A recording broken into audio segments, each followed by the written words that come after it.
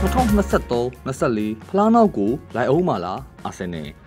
2023-24ပရီးမီးယားလိချန်ပီယံစုပြိုင်ပွဲကလီဗာပူးအာဆင်နယ်နဲ့မန်စီးတီးတို့အတွက်နောက်ဆုံးသောပွဲစဉ်အထိရင်ခုန်ရမယ်ထင်ပါတယ်ပွဲစဉ်30အဖြစ်အီတီဟတ်က6မှတ်တန်ပြိုင်ပွဲကဂိုးမရှိတေချခဲ့လို့မန်စီးတီးရောအာဆင်နယ်ပါအမှတ်ရောခဲ့ပါတယ်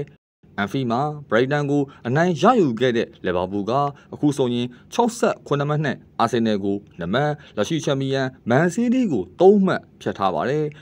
မန်စီးတီးနီးပြဂွာဒီယိုလာကလီဗာပူးအသင်းဖလားရဖို့ရေပန်းစားကြောင်းပြောလာပါတယ်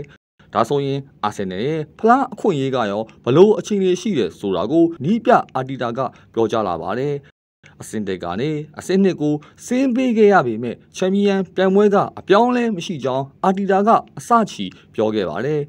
အပြောင်းလဲမရှိပါဘူးကျွန်တော်တို့အနိုင်ရခြင်းပေမဲ့အနိုင်ရလက်မလုပ်နိုင်ခဲ့တာပါလဘာဘူးအသင်းရဲ့ရလက်ကိုလည်းတည်ထားပါတယ်ဘာကိုမှပြောလို့မရသေးပါဘူးဘော်ရီအများကြီးကစားဖို့ကြမ်းမာသေးတယ်လို့အာတီတာကပြောပါတယ် အာဆင်နယ်ဟာ2024ခုနှစ်အတွင်းပရီးမီးယားလိရှုံးပွဲလုံးဝမရှိသေးပဲရှစ်ပွဲနိုင်တပွဲတရီကစားထားပါတယ်ပရီးမီးယားလိဖလားနောက်ကိုရအောင်လိုက်မဲ့ပုံမှာမနစ်ကလိုခါပြက်ခံမယ်မထင်မိပါဘူးသူတို့အတွက်ချန်ပီယံဆုကအသက်ဝင်နေသေးလို့အာဆင်နယ်အသင်းကောင်းဆောင်အိုဒီကကဆိုထားပါတယ်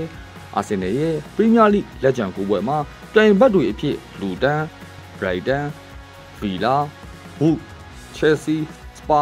ဘုံမောက် မန်ယူအဲဗာတန်တို့နဲ့ကစားရမှာဖြစ်ပါတယ်လက်ကျန်ကိုဝယ်မှာအိမ်ဝင်၅ပွဲအဝေးကွင်း၄ပွဲကစားရမှာဖြစ်ပြီးစပါနဲ့မန်ယူကွင်းကိုတွားရောက်ရှင်ပြိုင်ရမှာဖြစ်ပါတယ်